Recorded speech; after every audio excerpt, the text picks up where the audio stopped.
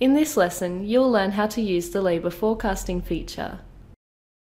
Labour forecasting allows you to sample data from a previous time frame to help calculate your future roster requirements. Once labour forecasting is enabled, coloured bar graphs of your predicted appointment demand as well as walk-in demand will be displayed on the roster. This will help you plan out your roster more efficiently and avoid being overstaffed or understaffed on any given day. You'll first need to enable labour forecasting in your settings. To do this, click on the Setup menu and select Configuration. On the left-hand side, click on General, then select the General icon. Tick this box to enable labour forecasting.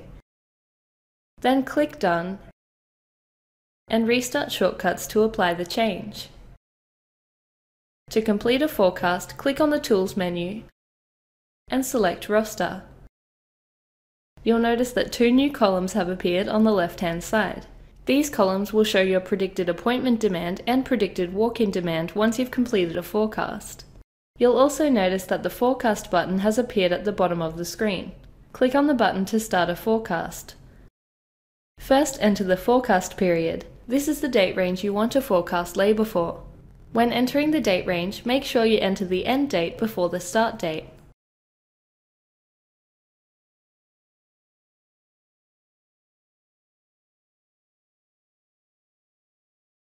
Then select the comparison period. Labour demand from this time frame will be used to calculate your future demand. Make sure the comparison period is the same number of days as the forecast period.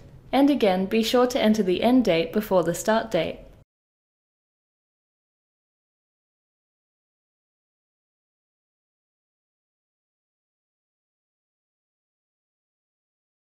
You also have the option to enter an uplift percentage. This is the increase in business activity since the comparison period. The uplift value will be applied to the comparison period to calculate the forecast period figures. For example, if you're expecting the business to be 10% busier in the forecast period than it was during the comparison period, you would enter a 10% uplift. Then press Compute. To see the results, navigate to the date range you selected as the forecast period.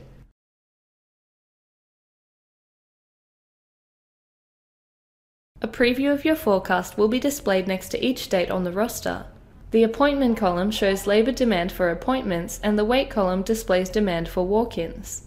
Click on an employee's shift to view a full-size labour forecast for that particular day. Here you can choose whether you'd like to view appointment demand or walk-in demand. The graph shows your forecasted labour demand for each hour of the day from left to right. The height of each bar indicates how busy you're expected to be. The higher the bar, the more clients are expected to visit during that time. The colours on the graph represent how effectively your rostered labour will fulfill forecasted demand. Red indicates that forecasted demand heavily exceeds rostered labour. Orange means that forecasted demand slightly exceeds rostered labour. Green indicates that rostered labour will successfully meet forecasted demand. This is the ideal colour you want to see on the graph. And blue means that rostered labour exceeds forecasted demand. If red or orange bars are displayed, you may wish to increase the number of staff rostered at this time. On the other hand, you may want to reduce the number of staff at times when blue bars are displayed. When you're finished viewing a forecast, click Done. At this point, you may wish to make adjustments to your roster to better meet forecasted demands. If you're using the walk-in manager, you can specify an optimal wait time and a maximum wait time to be taken into account when forecasting labour demands for walk-in visits. To do this, go to the Setup menu and select Configuration. On the left-hand side, click on General, then select Walk-in. Your wait time options are displayed in the top right corner. Enter your ideal wait time for walk-in clients into the optimal wait field. My optimal wait time is going to be 10 minutes.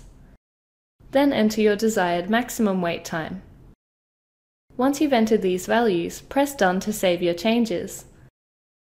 These values will now be used to calculate labour demand for walk-in visits. This means that your labour forecasts will be optimised to suit your desired client wait times.